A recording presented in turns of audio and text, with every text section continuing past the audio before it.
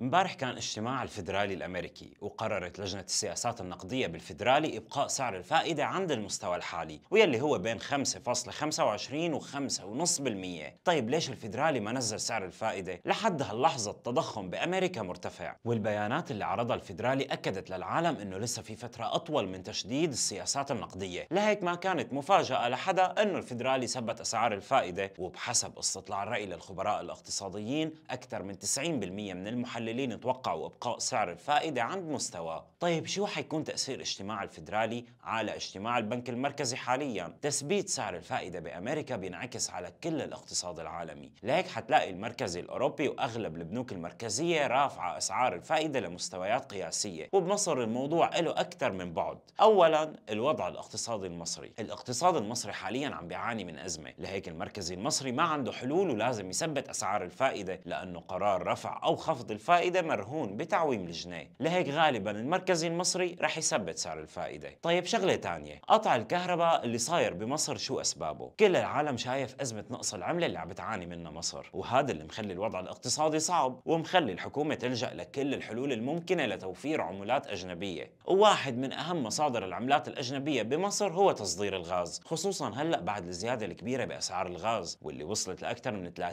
30% خلال آخر شهر. لهيك الحكومة عم بتحاول تكثف تكثف كميات الغاز اللي عم تصدرها لتقدر تجمع كمية كبيرة من العملات الأجنبية. طيب شو اللي تغير؟ وخلى الكهرباء تقطع. إسرائيل من بداية الحرب وقفت واحد من أهم حقول الغاز عندها ونزلت صادرات إسرائيل من الغاز لمصر من 800 مليون قدم مكعب قبل بداية أكتوبر لصفر حاليا. وهذا اللي خلى الحكومة المصرية تعاني من نقص بإمدادات الغاز. لهيك قررت الحكومة المصرية تزود ساعات قطع الكهرباء بمقابل أن توفر سيولة دولارية أكبر خصوصا بعد ارتفاع سعر الدولار بالسوق السوداء لهيك كانت الخطوة إجبارية لحتى تقدر مصر تحافظ على قيمة الجنيه من الانهيار. أنا لهون خلصت كلامي. ما تنسى تعمل like و subscribe وتفعل زر الجرس مشان توصلك فيديوهاتنا الجديدة أول بأول.